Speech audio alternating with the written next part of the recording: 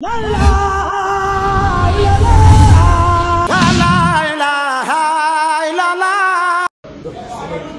Sénégal yi ba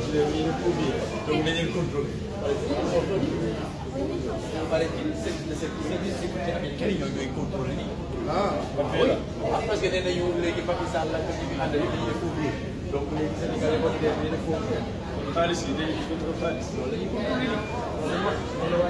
On est à l'aéroport de New York, JFK.